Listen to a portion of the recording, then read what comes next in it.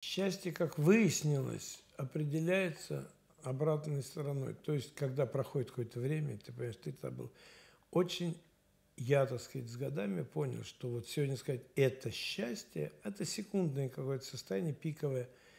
Это не счастье, это какая-то вот удача, там что-то такое чуть-чуть. А вот счастье – это какой-то период, который у тебя был, и ты, отъезжая от него, понимаешь, вот было счастье. Поэтому сегодня счастье – это что? Это вот тот период, который был недавно, давно. Ты вспоминаешь, прокручиваешь это мотаешь, мотаешь это как на видео кусочек такой периода, большой, маленький, вот этого счастья.